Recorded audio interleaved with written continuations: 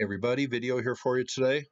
Keep my eye on the situation in Minneapolis, and it's really tough to keep quiet about that situation. Might have a video on that coming up, I don't know. We're going down to Tel Arad today in Israel.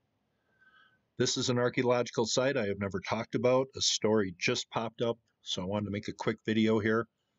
The origins of this place go back 6,000 years at least. There is some history coming from about 3,100 years ago, and this is tied to some biblical history down here. Here is a look from the site, and this upper area of this tell or hill was settled about 3,100 years ago, about 3,000 years after this lower place was occupied and people were living here. Here's a look from the site. There are ancient sites all over this area. This is just one of them I have not talked about.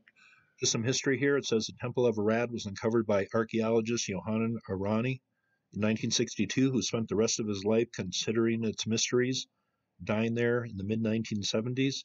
In the Holy of Holies, this temple, two incense altars and a standing stone were found probably having been dedicated to Yahweh. The earliest occupation of this place is a little shady, but it seems to have gotten started as long as 6,000 years ago. And then it was abandoned about 4,500 years ago and then reoccupied about 3,100 years ago. So there's different periods of occupation, but this place was lived at, occupied for a long time. Here's a diagram from a website, shows the fortress mound, city walls, other things found during the excavations here, temples, residential houses, other things. But the history here might go back five, 6,000 years. And when this place got restarted about 3,100 years ago, biblical historians attached that starting time to roughly the time of the biblical heroes David and Solomon. So they tried to attach that history to it. And I guess that's understandable. That occupation lasted for about 1500 years until the Babylonian king Nebuchadnezzar II came in and took over, destroyed the place. Here's an interesting artifact found at the site, and this dates back maybe four or 5,000 years. They call this a clay model house. When I first looked at this, one thing came to my mind. Here is a website Door to the Afterlife, Egypt and Malta. These are those false doors, they are called in Egypt. I've talked about these, the symbolism in here.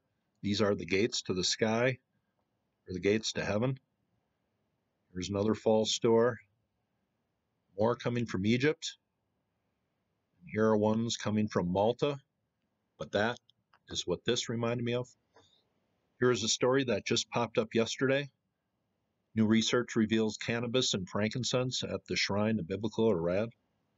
Now, this is something I have talked about before in videos, mostly a long time ago, but how the ancients were into mind expansion. Here is the front view of the shrine reconstructed here. It says analysis of the material on two Iron Age altars discovered at the entrance to the Holy of Holies of a shrine at Tel Arad in the Beersheba Valley, Israel, were found to contain cannabis and frankincense, according to a new article in the journal Tel Aviv. It says evidently they had played an important role in the cult practices of the shrine, and unidentified black solidified organic material was preserved on the altar's surfaces. Past analysis of these materials failed to identify their content, and this dark material was re- recently submitted to organic residue analysis by modern methods the study reveals that on the smaller altar, cannabis had been mixed with animal dung to facilitate heating, while the larger altar contained traces of frankincense that was mixed with animal fat to promote evaporation. These unique findings shed new light on the cult practices of biblical Judah, suggesting cannabis was used here as a deliberate psychoactive to stimulate ecstasy as part of cultic ceremonies. The lead author on the study says this is the first time that cannabis has been identified in the ancient Near East. Its use in the shrine must have played a central role in the cultic rituals performed there. And I don't think that's the first time it's been found, but I think this is a very interesting story. Just gives us a little window into how ancient people thought. Is it a lot different than the way we think today? Hmm, I don't know. This story came out yesterday. This is physics.org. I will leave the link below. I just thought this was an interesting article. I've talked about this before. The ancients certainly didn't think cannabis was something bad, that is for sure. And you wonder what the burning bush of the Moses story was now? Well, that was a quick video. This site goes back maybe five, 6,000 years originally.